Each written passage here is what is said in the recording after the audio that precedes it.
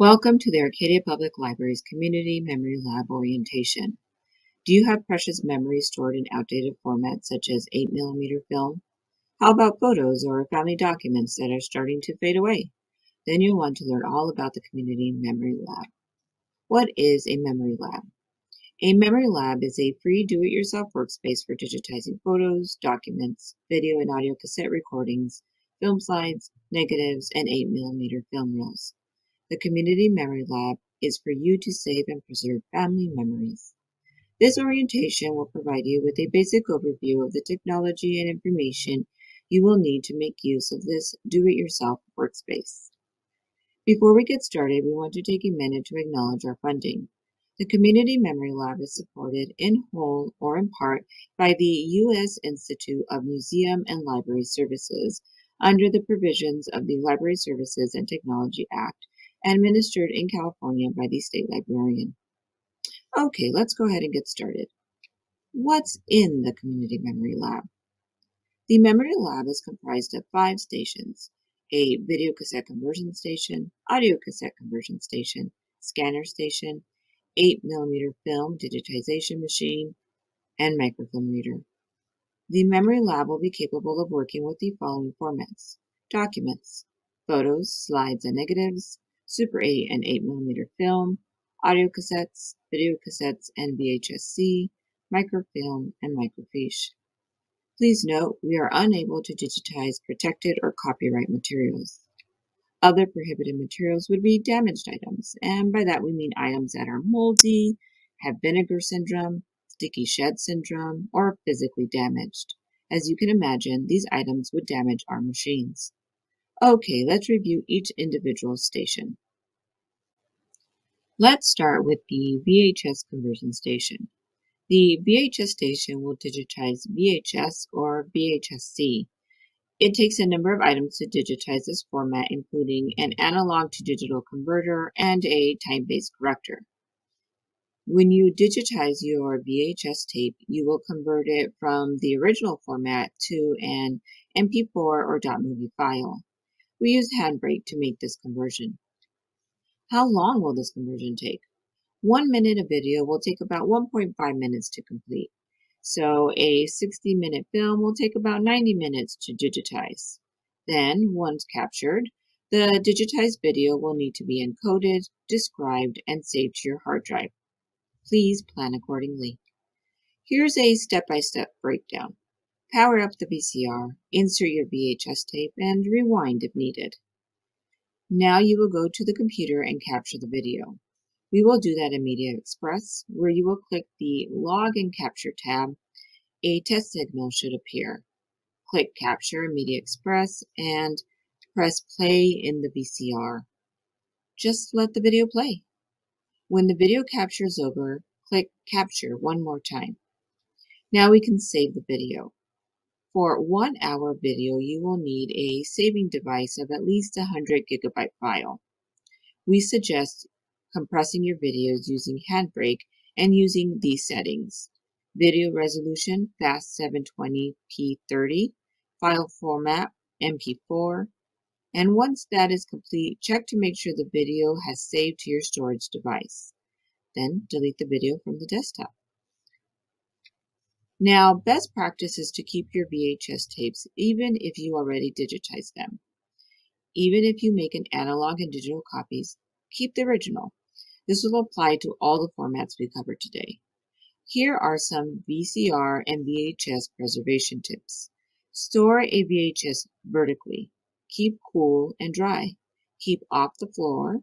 And VCRs uh, will deteriorate faster when not used, so periodically use it. Now let's talk about audio. We will be using the Tascam device to digitize audio cassettes. The audio cassette format will be digitized into an MP3 or .wav file. We will be using Audacity to digitize the audio cassettes. Here's how to do that. Power up the device, insert the audio cassette, and open Audacity on the computer. You will then preview the tape and adjust the sound. Rewind to the beginning, and play and record in the opposite order actually.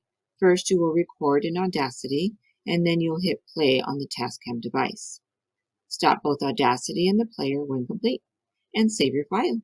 That's it. Now let's talk about preserving your audio cassettes. Store vertically with the open end up, in the case if possible, and keep in a cool and dry space. Let's move on to the scanner. Now, this isn't your at-home run-of-the-mill scanner. This is a high-quality scanner that can scan photos, documents, including newspapers, and everything listed here. You can also scan film and transparency, 35mm slides, photo negatives, and the machine can accommodate large format items up to 12 by 17 inches. As we scan, we convert the documents, photos, etc. into TIFF and PDF files. The length of your visit will depend on how quickly you work, the number of items to be scanned, the formats you are scanning, and the resolution you are scanning at. The higher the resolution, the longer it will take. Here's how to scan. We highly recommend using gloves so you don't transfer fingerprints to the device and help preserve your photos and documents. Clean the scanner surface and the document, and place the document face down on the scanner. You can use black cardstock to prevent bleed through when scanning newspapers. Close the scanning bed lid and open Epson Scan 2. This is the software we will use to scan the documents. Connect your external hard drive or USB. These are the scan settings you'll want to use. 300 for documents, 600 for photos, and 1200 for negatives and slides. Now you can edit your image format and the scanner will automatically adjust based on the scan settings. However, we recommend TIFF for images and PDF for documents. Once you are ready, click and preview and adjust the marquee tool as needed. Click on Scan and that's it. Now here are some preservation tips for when you take your items home and store them. Regarding documents, store in a cool, dark environment. Archival containers are best, and you'll want to keep your newspaper clippings away from other documents. Store your paper documents flat and remove any paper clips, staples, and rubber bands. Onto photographs. Store photos in acid-free folders or archival photo sleeves, and keep your negatives separate from print materials. We are all guilty of this, but we should avoid albums with colored, magnetic, or sticky self-adhesive pages. As a rule, you want to handle photographs with clean hands or while wearing gloves, and store them in a clean, cool, dry place, and limit light exposure. Regarding film slides, Use archival safe plastic slide pages and place in an acid-free binder or box, and never remove them from the mount. These help protect the slides from abrasion. Let's take a minute to talk about metadata. As you go about digitizing and saving these files, you will want to edit your metadata. What is metadata? It's data about data. When and where was the photo taken? Who's in the photo? It might seem obvious now, but will people know that information in 50 years? Now, some of the data is automatically captured and some can be created or edited. Let's give you a present day example. When you take a photo of, on your smartphone, some metadata is automatically captured. You can see here all the information that is saved. Regarding older formats, we will have to edit or add metadata. Some programs allow you to add it to the file, and other times you will need to add the information in the file name. For example, we have this photo and on the back, there are some written notes. We would want to save that information both by scanning the back of the image and by adding the notes to the digitized file.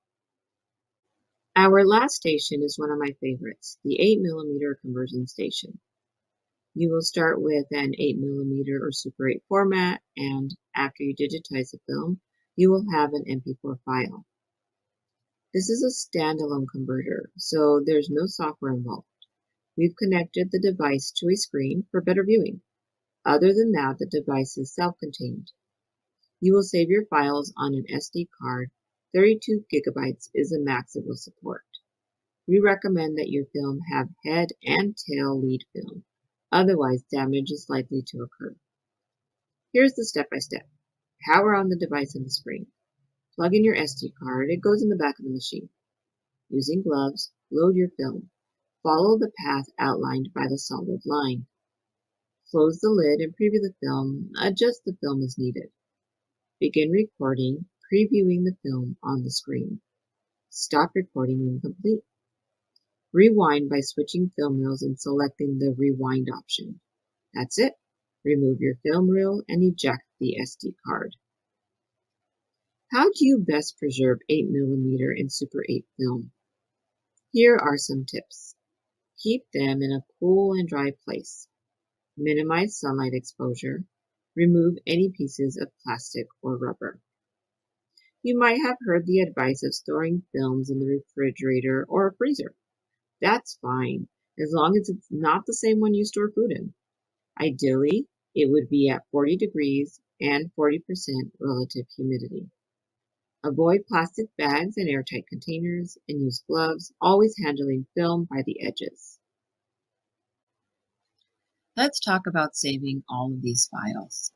You can bring in an external hard drive, a flash drive. We recommend 16 gigabytes or higher. For the 8 millimeter Super 8, you will need an SD card. Okay, so how do you access the Memory Lab? You will need an Arcadia Public Library card. This orientation is required. And you'll need a signed copy of our agreement on file. The agreement has been linked in the caption. Once that's complete, you can call to make an appointment. To make an appointment, you would call 626-821-5569 and you can make an appointment anytime Monday through Thursday, 10 a.m. through 8 p.m., and Friday through Saturday, 10 a.m. through 5 p.m.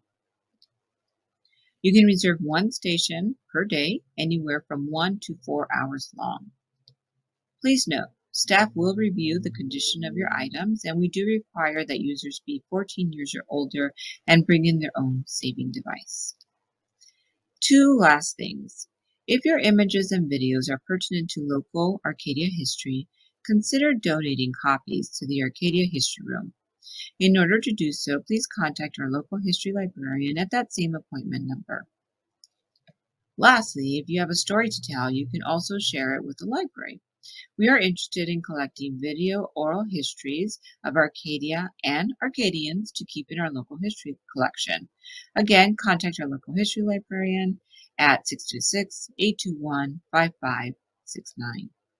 And that's it. Thank you for your interest in the Community Memory Lab. If this all seems like a lot of information, don't despair. Staff will be available to answer questions. Step-by-step guides have been created in both English and Simplified Chinese, and if you're a visual learner, video tutorials have been created as well. Happy digitizing!